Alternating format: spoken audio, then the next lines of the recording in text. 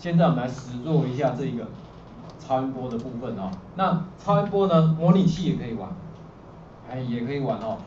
好，顺便跟大家提一下，目前这个模拟器只能在电脑上用，你在平板、在手机上没办法用，因为那个拖曳的动作啊有冲突，所以这个部分是比较可惜一点点的。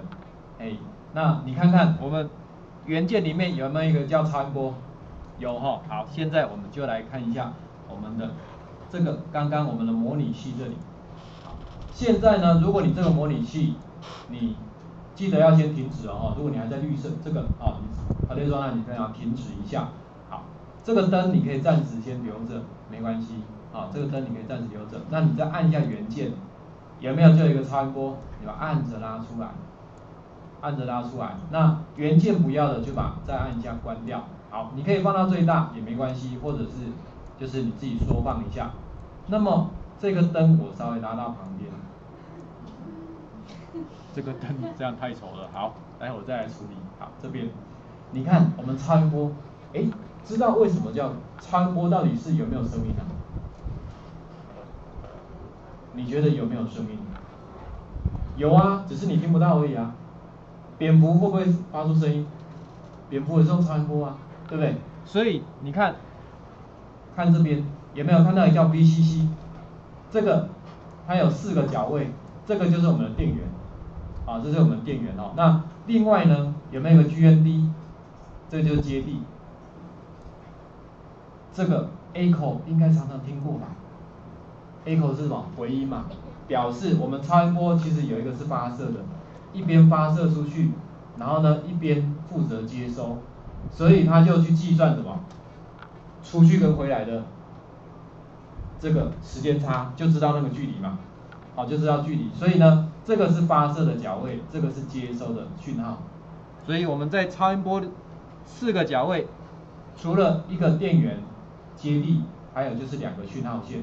那我可以透过这个方式呢，你看我把它往下，这里电源我们原则上接五伏特或三点三，在这边都没有什么关系。好，但是实体真正在接的时候，大部分我们会接五伏特，好，或者是接三点三，其实也可以啦，好，也可以哈。那这里有一个接地的部分呢，接地的部分，我用这样放大，你会看得比较接地，接地你可以直接接这边也可以，好，或者你要接下面都没有关系。那我刚刚讲过了，按 A，你可以让它好看一点，不要这么乱。好，就稍微把它拉开一点点，这样你比较不会觉得说，哎，好，好像那个线都会怎么样，就会打架哦。来，稍微把它拉开，OK，那讯号线我就接一个九，一个八，这样子。那我的 LED 灯我再拉回来，一样，这个接地，这个我就接到十，这样 OK 吗？好，那我就先让大家把硬体的部分先接起来哦。大家的硬体都好了之后，我这就收起来。下面这灯泡我就把它关掉了哈，对吧先丢掉。这个硬体我还是继续留着，因为我们真的有。那你看我们左手边有没有一个叫超音波？嗯，把它按下去打开，一样的硬体要先做连接。也就是我除了有一个开发板，有一个 LED 灯，是否还有一个超音波？但是脚位要注意一下，这个脚位我刚刚是接哪一个？在这里是不是九跟八？九是发射，八是接收，所以这个角位就是一定要对哦。你不对了，很抱歉，对牛弹琴不好。哎，好，这样接好了。但是呢，我怎么知道超音波到底它的距离多长？所以我们现在这个互动的方法稍微换一下，灯泡对它没有用的，我们换回显示文字。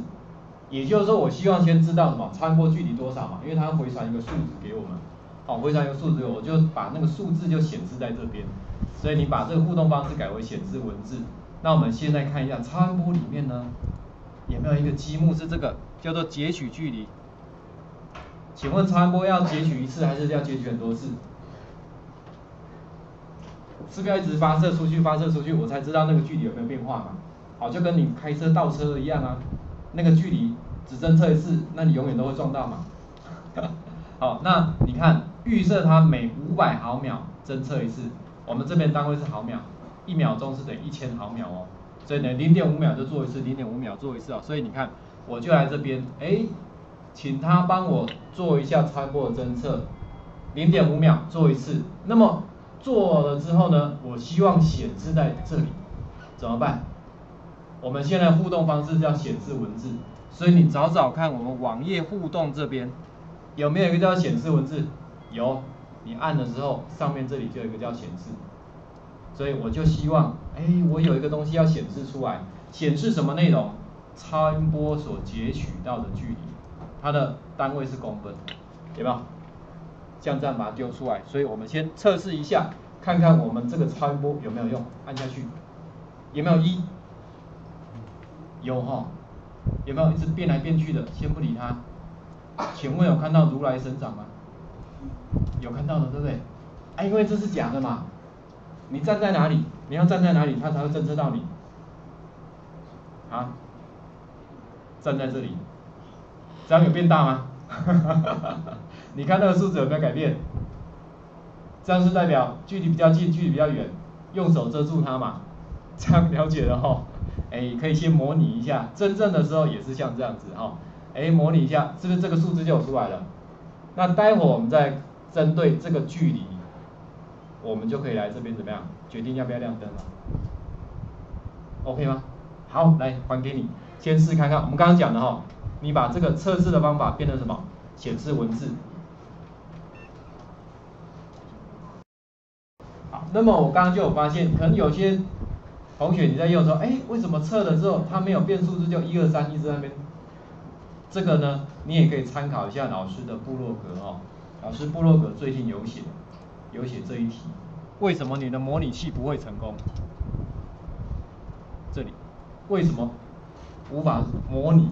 大部分会有这个问题的，就是你有多的这些元件，有没有？有有的可能你有两块板子，或者有多的这个积木，啊，就是那个元件在外面。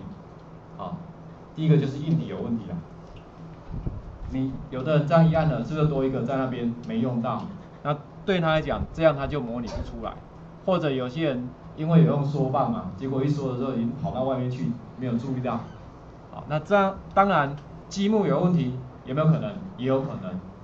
比如说你看哦，一般我们如果说像我这个先停止一下，有些人哎用的，比如说这个积木，好超音波，结果用的啊好像不对，放不进去。你有没有发现？